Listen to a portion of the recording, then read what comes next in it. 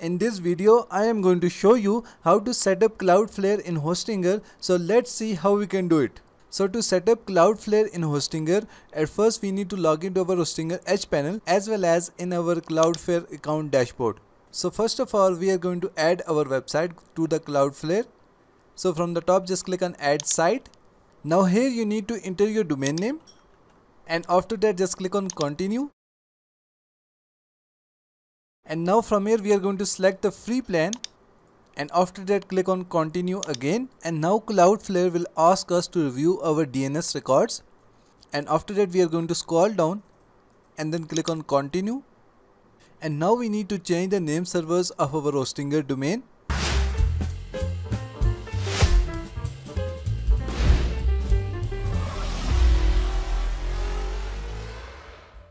So go to Hostinger hPanel and click on manage next to your domain.